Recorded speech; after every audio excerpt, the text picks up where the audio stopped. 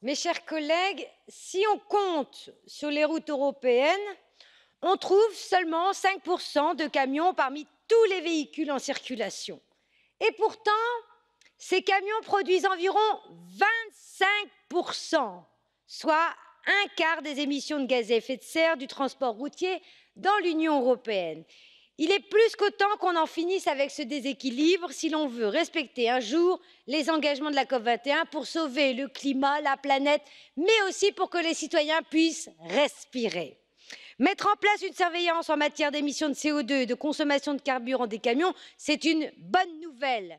Jusqu'à récemment, les émissions de CO2 et la consommation de carburant des poids lourds n'étaient ni signalées ni surveillées de manière objective et comparable dans l'Union européenne. Désormais, les entreprises opératrices de transport pourront choisir les véhicules les moins consommateurs et émetteurs. Cela permettra de dépenser moins et de polluer moins.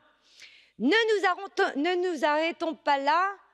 Le secteur routier de marchandises doit faire plus doit faire mieux pour réduire ses émissions de gaz à effet de serre.